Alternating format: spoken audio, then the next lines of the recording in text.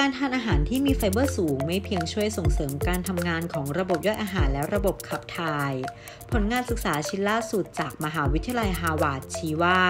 ผู้หญิงที่รับประทานอาหารที่มีไฟเบอร์สูง จะมีความเสี่ยงของการเป็นมะเร็งเต้านมลดน้อยลง มะเร็งเต้านมถือเป็นความเสี่ยงด้านสุขภาพอันดับที่ 1 ของผู้หญิง และเป็นหนึ่งในโรคมะเร็งที่ฆ่าชีวิตผู้คนจำนวนมากในแต่ละปี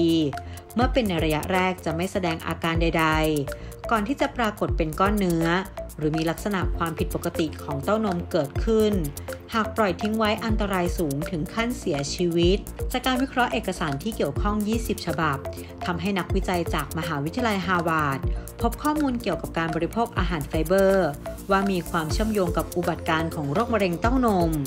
พวกเขาพบว่าผู้หญิงที่บริโภคอาหารที่มีไฟเบอร์สูงอยู่เป็นประจำ จะมีความเสี่ยงของการเป็นโรคมะเร็งเต้านมลดลง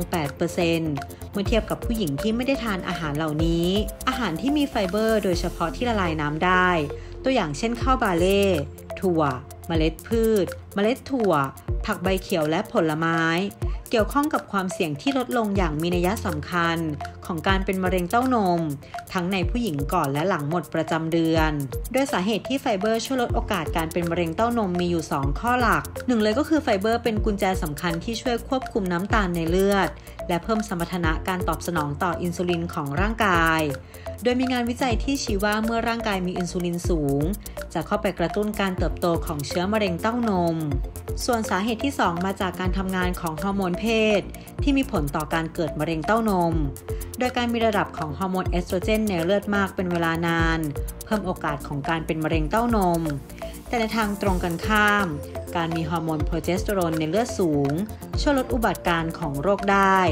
ซึ่งไฟเบอร์มีความสามารถในการลดระดับเอสโตรเจนที่หมุนเวียนในร่างกาย และช่วยให้โปรเจสเตอโรนทำงานอย่างมีประสิทธิภาพ อย่าลืมกดติดตาม TNN Health ทุกช่องทางออนไลน์ เข้าถึงทุกสาระสุขภาพ เสริมภูมิคุ้มกัน รู้ทันโรค